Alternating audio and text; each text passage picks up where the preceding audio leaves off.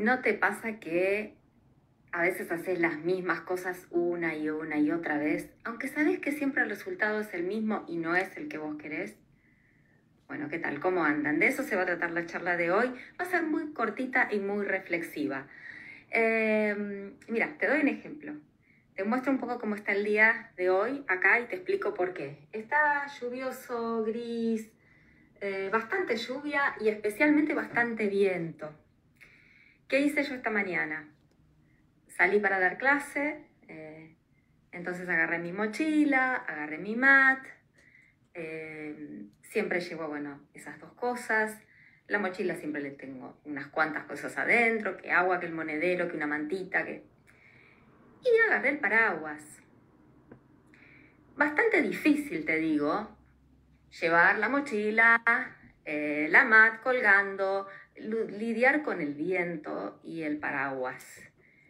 Y ya sé qué me pasa, y ya sé que camino con suerte dos cuadras y desisto del paraguas, al menos acá la lluvia es bastante mm, tolerable, digamos, te puedes mojar pero no tanto, te pones una capucha y ya está, y dentro de todo, bueno, este, tenés un buen calzado y no te mojas tanto, y sé que en definitiva el paraguas no me va a durar mucho tiempo. Sin embargo, mientras me voy acomodando así, estoy más cómoda para, para hablarte.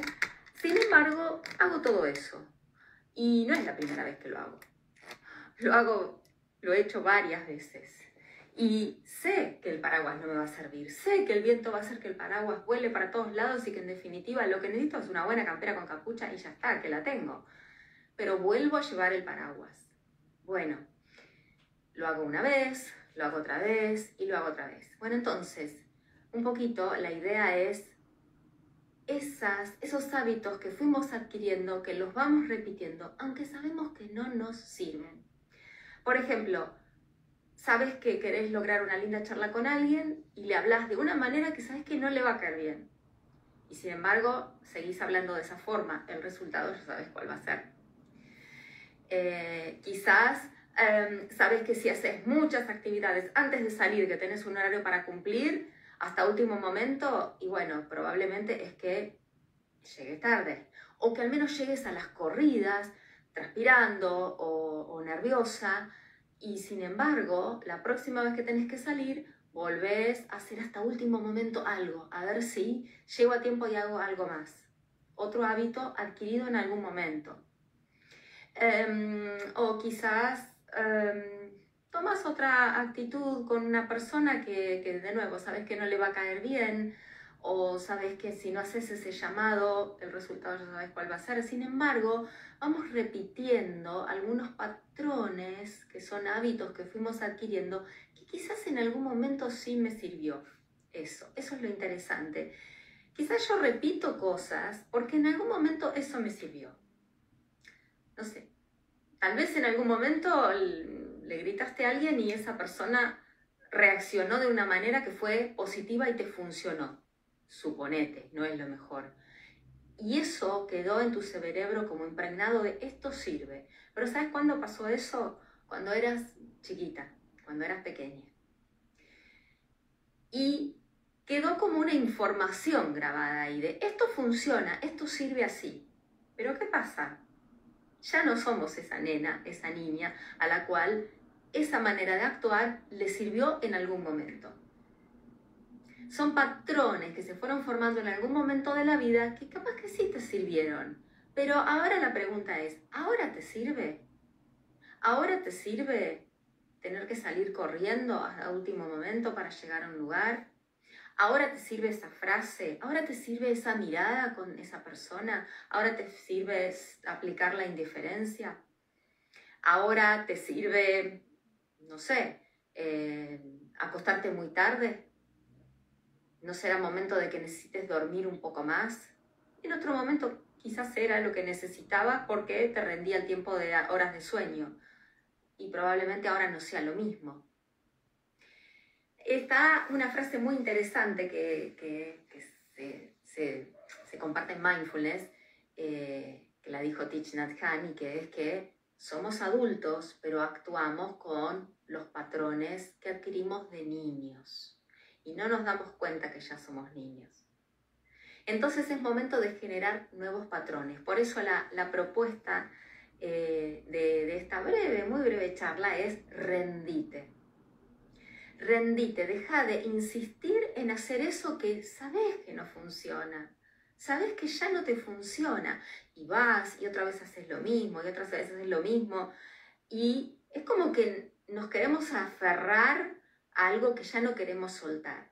Y uso la palabra soltar, te digo por qué, porque hay una parte de uno de, los libros sagrados de la India, eh, el Bhagavad Gita, que hay un guerrero, te cuento como un cuento, hay un guerrero que se llama Aryuna, que es el mejor de todos, es arquero, él tiene arco y flecha, es perfecto, sabe exactamente cómo concentrarse, cómo focalizar, cómo va a llegar la flecha al lugar correcto, al objetivo correcto. Está altamente entrenado, eh, su cuerpo está eh, en, buen estado, es atlético, es inteligente, es preciso. El foco lo adquirió un montón de conocimiento gracias a los grandes sabios que lo entrenaron. Bien, ¿qué pasa con Ariuna? Llega un momento de su vida donde se encuentra ante una disyuntiva donde no tiene respuesta, donde no sabe cómo actuar, no sabe qué es lo que tiene que hacer en ese momento, cuando en realidad él tenía, más allá de saber tirar la flecha correctamente con el arco, tenía una filosofía de vida totalmente armada que le servía para ser el mejor, el que todos admiraban, al que todos respetaban, el que sabía qué tenía que hacer y qué no. Hay un momento en su vida donde esto de alguna, se manera se desarma. ¿Y sabes lo que hace?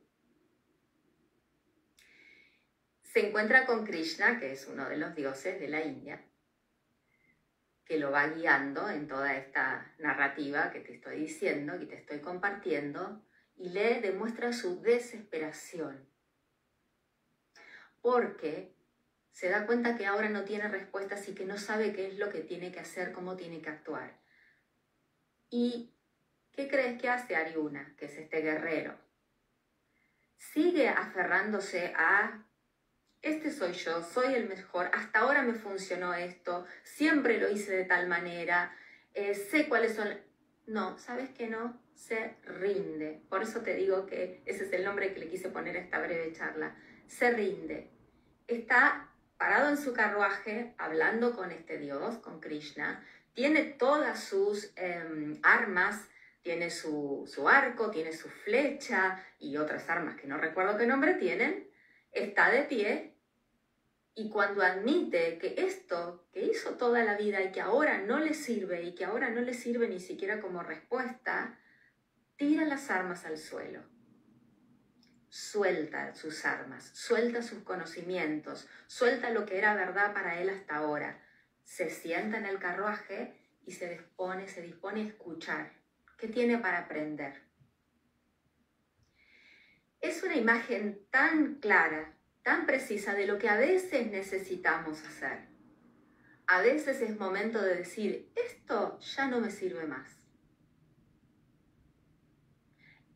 Pero hay que tener coraje, porque para tomar esa decisión y admitirlo, tenés que estar diciendo, bueno, a ver, tengo que aprender, tengo que escuchar, tengo que armar algo nuevo que de ahora en más me va a servir. Y para eso primero tengo que admitir que no sé, que no me sirve y que me tengo que rendir. Y esta palabra rendir a veces, a veces nos suena como, oh, no, rendirme, no, yo voy, la peleo. Sí, bárbaro, peleala. Anda para adelante, vamos. Pero fíjate si con eso que querés pelear te sirve, porque quizás ahora ya no te sirve más. Y eso es sabiduría, eso es reconocer, necesito sentarme, soltar todo eso, todas mis armas que tenía hasta ahora y decir, a ver, estoy dispuesta a escuchar. Y a la primera que tenés que escuchar, bueno, que tenés que, en realidad si querés, es una invitación, pero lo hablo por aprendizaje propio, esa voz, pero esa, a tu voz interna, que está bien, bien ahí adentro, que capaz que entre tanta armadura y, y, y escudos y armas y flechas, quizás está bien apagada esa voz. Fíjate si cuando soltas todo eso, ves si la podés escuchar y también si podés escuchar a otros, a quien sea que puedas valorar como alguien sabio, no necesariamente un gran maestro, pero tenemos muchos maestros en la vida del día a día. Así que por eso hoy mi invitación es a que te rindas, a que te escuches y bueno, ojalá que eso rinda unos hermosos frutos. Bueno, besos y nos vemos la próxima, si Dios quiere. Saludos a las que saludaron por ahí.